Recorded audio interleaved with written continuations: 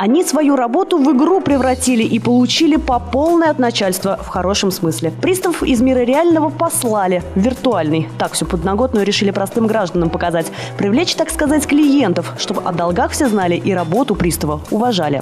У женщины есть свой плюс, она быстрее передвигается на, процент, на 15% быстрее мужчины, быстро обрабатывает документы на 20%, но зато боится собак и бездомных. Герой-мужчина, наоборот, никого не боится, зато работает медленнее. С таким поворотом событий не согласен пристав Евгений Ралдугин. По просьбе репортера молодой человек начинает проходить игру. Все как в жизни. Надо подготовить документы, рассмотреть обращение и даже описать имущество. Вот в машину за долги отправляется компьютер. Вот еще один, и все это на скорость. Ну, у каждого пристава, то есть своя территория, и то есть вот он на ней работает. То есть вот мы зашли в дом, обозначение появилось, что загорелись все окошки в доме, то если вы заходите в этой игре до определенного уровня, заходите в банк данных производства, получаете бонусные баллы и переходите на более высокий уровень. Ради этого банка игру делали в нем сведения о всех долгах и должниках, а значит полный расклад по людям и организациям всей области и даже страны. Для того, чтобы вывести себя и других на чистую воду, надо ввести имя и фамилию и ждать результата.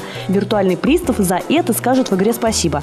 Пока одни работают, другие профессии только задумываются. Репортер просит протестировать приложение тех, кто на играх компьютерных вырос. Вам сегодня предлагается попробовать себя в роли судебного пристава. Я думаю, что суть в этой профессии заключается в том, чтобы а, раскрывать какие-то дела. Егор Егоркин, как и его одноклассники, отлично разбирается в играх, а вот о задачах пристава знает весьма отдаленно. Сегодня у него пройдет не обычный урок информатики, а урок жизни.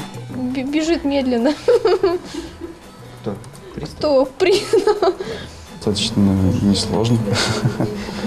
Несложно это в игре. В реальной жизни приставу надо обработать 110% документов. Если в день возбуждают 100 производств, то надо окончить на порядок больше. И это только одна из задач. Да, я понял, чем занимаются судебные приставы.